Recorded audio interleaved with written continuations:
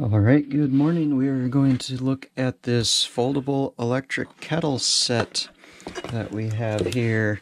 And my plan is to try to uh, race up and get the kettle going so that we can look at the other items in this kit while we simultaneously wait to see how long the water will boil. So we're going to talk about this other stuff, but my goal here is to get the kettle started and then circle back to all the other goodies in the case. So let's uh, let's go onwards towards that. We've got the power cord here.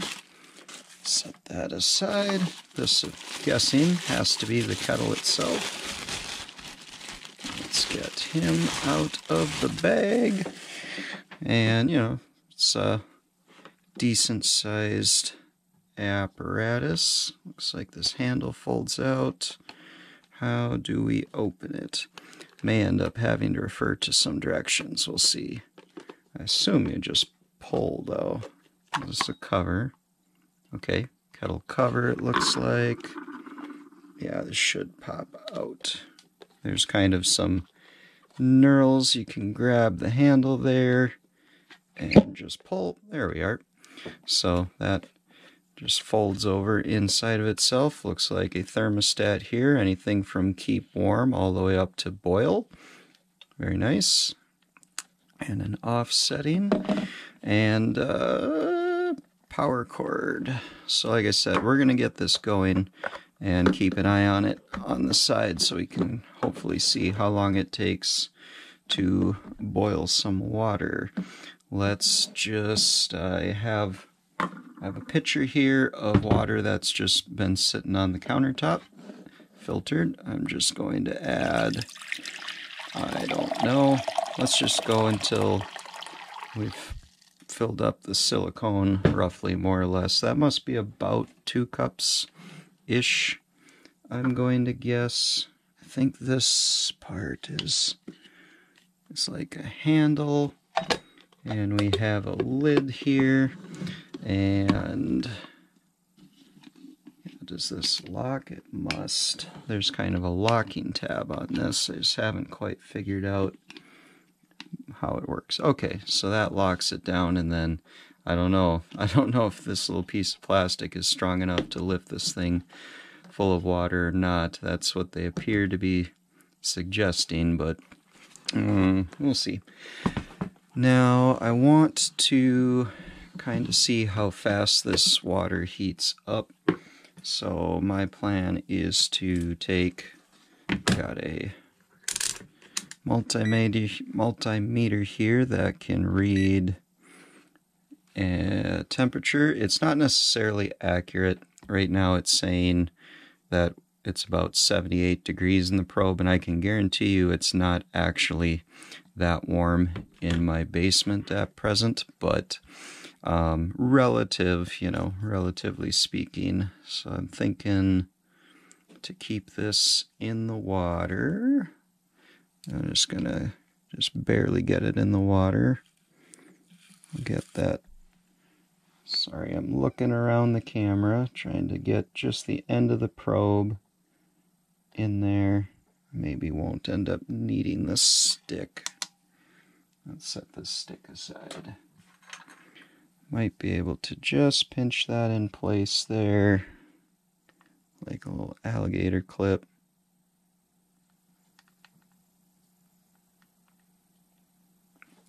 Let's look. Okay so the probe is just an inch or so into the water there and it's dropped down to about 70 degrees. That seems fine. I'll put the lid on this and let me take the twisty tie off of the cord. Here, bear with me here. So that I can get, it's not a super long cord, about two to two and a half feet, I would say. Alright, so we've got the kettle there. Now, we can plug it into our source of power.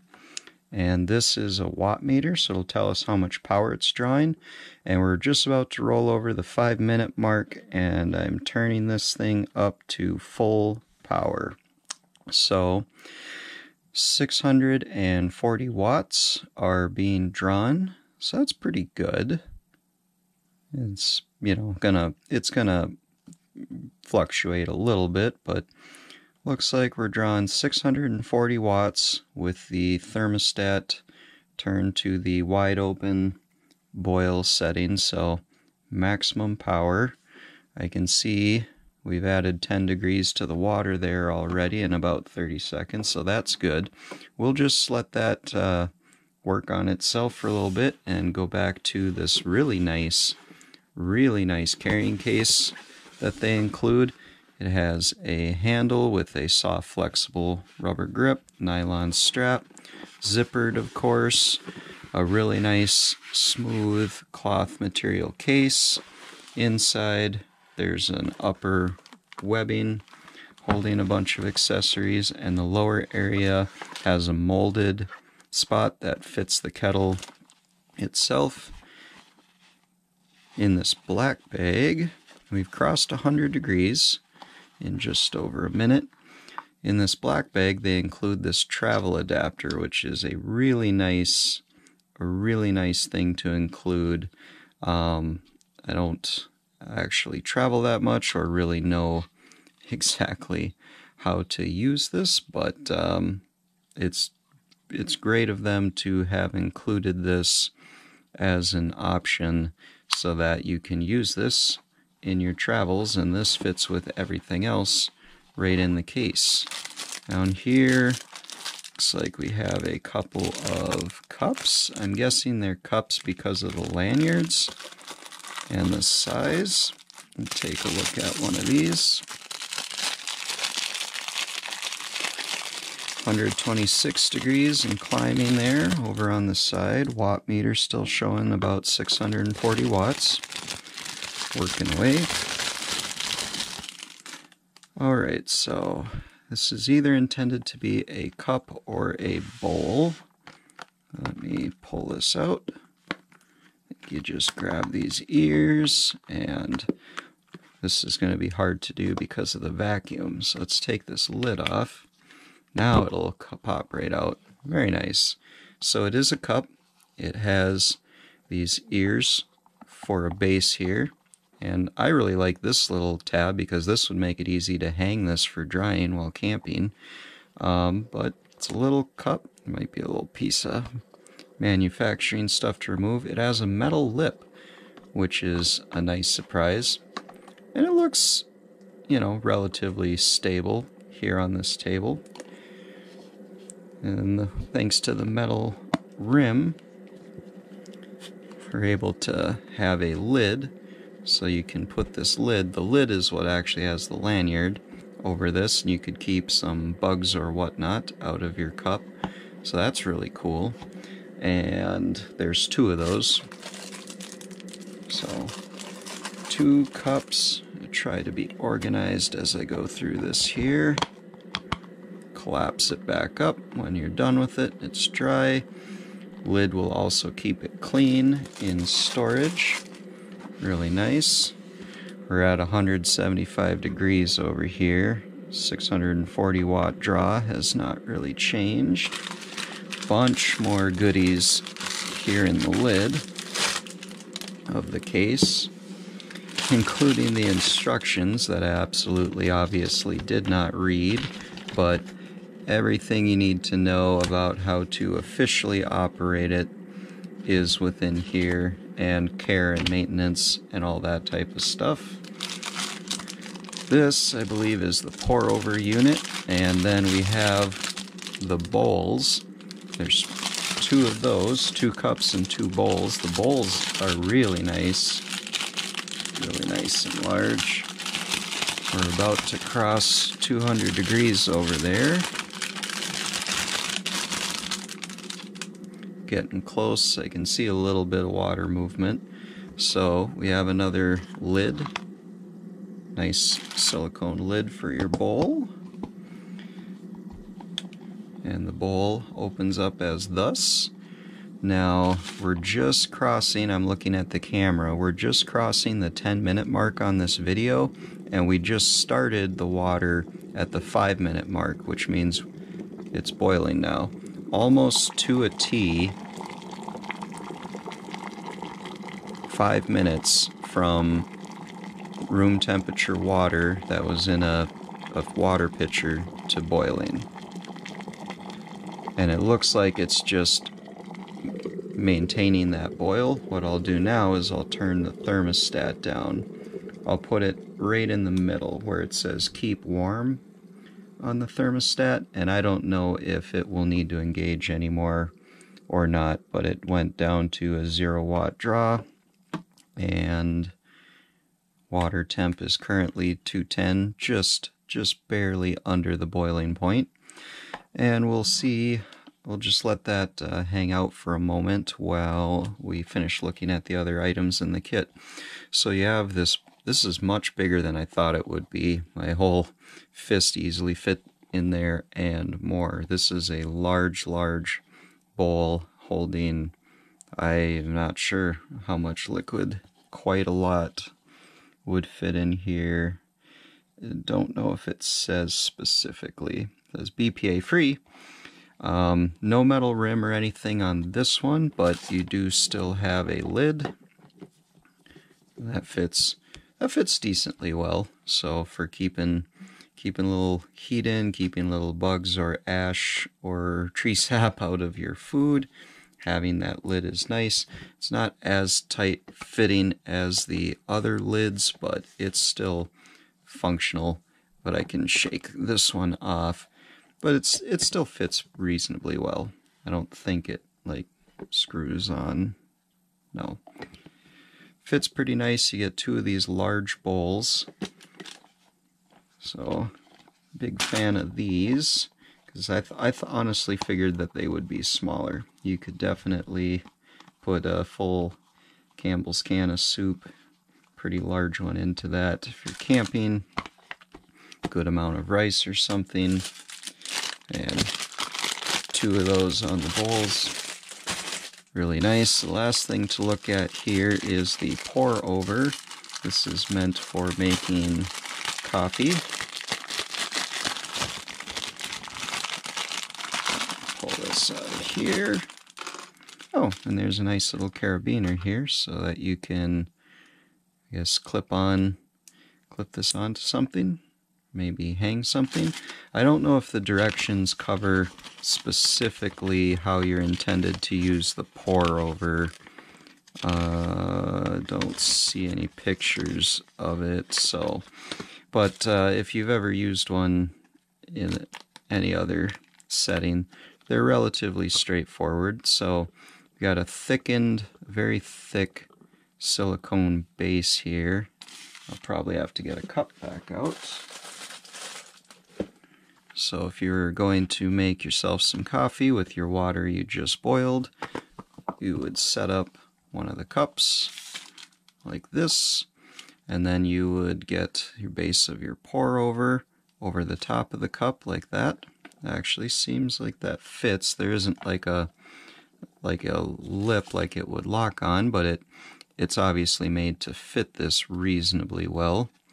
And then you would put in maybe a a reusable filter or a paper filter and some coffee grounds and you would take your kettle, pour the grounds through or pour water through your grounds and through your filter in here and it would get filtered through come out the bottom and become coffee in your cup. So this is kind of a neat a neat addition to this whole thing and the ability to hang it to dry or anything that you need to do like that. There's a couple of these items that have hanging holes on them. The bowls don't. The bowls aren't set up to be hung, but that's alright. So, that about does it. Two bowls, two cups, and a pour over. It all fits together along with the travel voltage um, converter device all of that fits into that case that I showed you before. pretty nicely with the instructions. The water is holding its temperature pretty well, so I wonder if I just creep up on the thermostat a little bit, if it would kick on.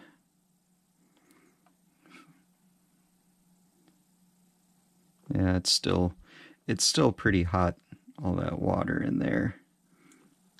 But I could probably fool it. So I've I've put the thermostat back to the center setting, the keep warm setting. Pardon me while I set this to the side. And I'm just going to pour in a little bit more room temperature water so that we can maybe trick it into kicking on. Temperature dropped to 170. Let's see at what point. Oh, I think I heard it turn on. Maybe not down to 150 degrees. Sorry, I'm bumping the camera thing as I go here. 140. And it hasn't turned on yet. At about 150, just under 150 degrees. Turn this up a little bit more. About the three quarter setting. Hmm. 150, I would kind of think that maybe the thermostat would kick on right about now. Oh, there it is. So about three quarter setting between keep warm and boil and 150 degree water temp. And it looks like it's just on and off. I don't think it really ramps its power up and down. It's just a simple thermostat. And when the temperature drops low enough, then it will come on and uh, heat the water up to whatever point this is set to. Halfway between keep warm and boil. Looks like halfway between keep warm and boil is just over 150 degrees. So that's reasonable for teas and, and even coffee and a number of things. So you, you have some thermostatic control, which is pretty nice. Definitely take the uh, readings with a grain of salt, although it looked pretty accurate once we got up to the boiling point. So that all seems good. You can turn it off there easily. I appreciate that the cord unplugs on both ends because cords that are permanently attached to travel appliances are a little bit inconvenient. Um, not a terribly long cord, but long enough for most intents and purposes, and this is a typical PC power supply type of cords. You might even have a longer one of these floating around your house somewhere if you could really use a little bit more length. Um, this is a standard end, so you could easily get a longer one if you needed it. With two cups, two bowls, the pour over, the travel adapter, everything in the carrying case. Um, can't really tip it or adjust it right now to show you, but what uh, what we have seen of it today I would say I'm a big fan of this travel kettle. I put in a lot of water now. Let's see if I dare. I don't, I don't think I would use just this little plastic handle to lift the whole thing. Multimeter wants to be turned off.